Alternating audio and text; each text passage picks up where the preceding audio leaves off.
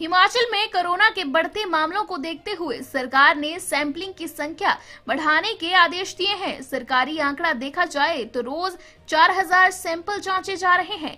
लेकिन अभी भी कुछ लोग ऐसे हैं जो सैंपल देने से परहेज कर रहे हैं। ऐसा करने के पीछे उनका तर्क है कि अभी त्योहारी सीज़न चल रहा है। उन्हें प्रशासन ने ऐसे लोगों से निपटने के लिए खास इंतज़ाम किया है।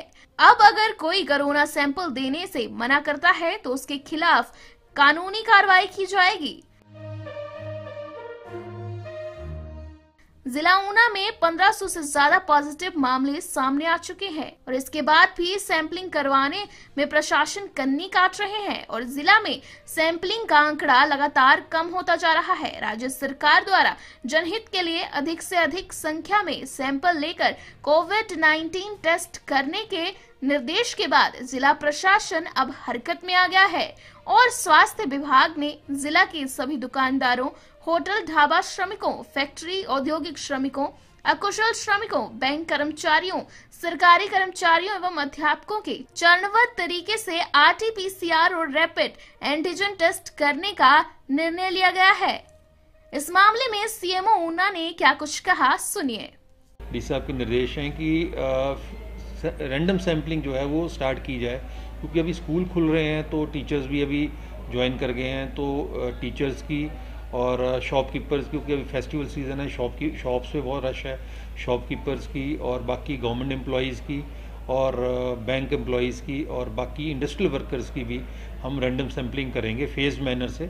बारी बारी से सभी की करेंगे, ताकि एक हमारा टारगेट भी पूरा हो जाए कि सैम्पलिंग साढ़े तीन सौ, चार सौ सैम्पलिंग हर महीने, हर डेली होनी चाहिए हमारी।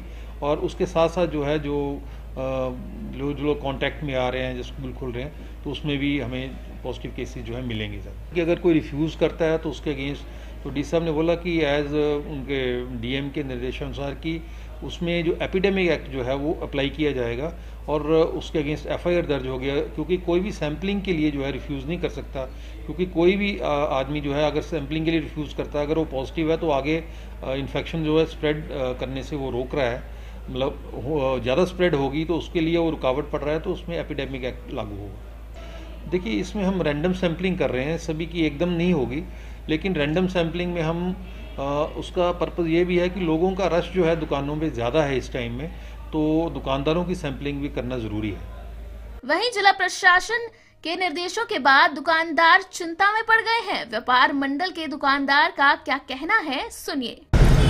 कल एसपी साहब ने व्यापार मंडल को कॉल किया था।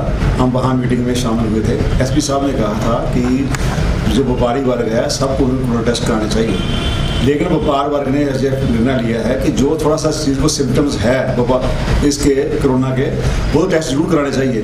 लेकिन त्योहारी सीज़न होने के कारण अभी यदि मान लो सपोज़ करो एक, एक दुकानदार भी कोरोना पॉजिटिव होता है तो सारी मार्केट बंद हो जाएगी। इसलिए मेरी प्रशासन से रिक्वेस्ट है कि इस इसको थोड़ा सा पोस्टपोन किया जाए और त्योहारी सीज़न के बाद ही इसको इम्प्लीमेंट किया जाए। फ़िलहाल जो इसके पेशेंट लगता है थोड़े से सिम्टम्स लगते हैं वो करवा लें। बाकी वारियों को थोड़ा सा राहत दी जाए।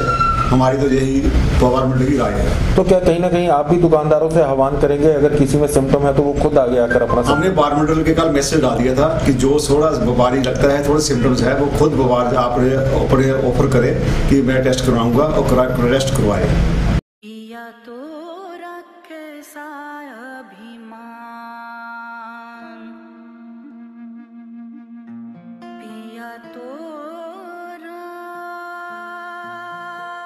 बीती यादों से नाता सहेजना सीखा। हाथ थाम कर जिनके चलना सीखा। गिरने लगती जब तो उनसे संभलना सीखा।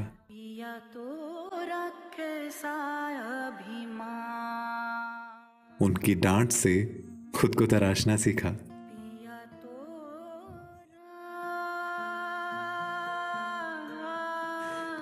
घर से दूर होकर भी दिल को हमेशा यह एहसास रहता है। उनका प्यार और फ़िक्र हमेशा मेरे साथ रहता है।